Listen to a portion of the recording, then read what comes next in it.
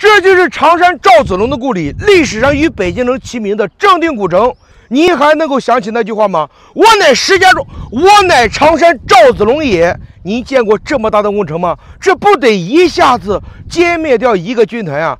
经过一千六百年的沉淀，正定城里的国宝级文物随处可见。据说赵匡胤还为此放下了一个镇定之宝，谁找到就是谁的。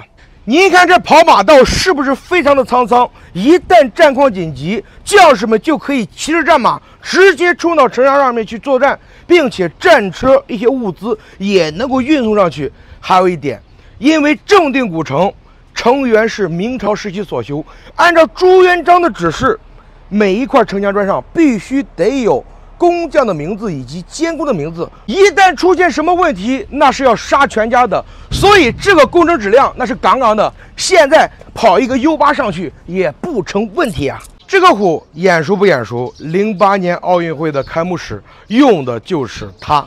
长山谷，这正定古城里面竟然有四座唐朝时期兴建的古塔，并且保存的十分完整，这在其他古城里面那绝对是非常少见的。这也恰恰说明了正定古城的历史非常的悠久。这个就是老版《红楼梦》的拍摄地——正定荣国府。刘姥姥进大观园，进的就是这里。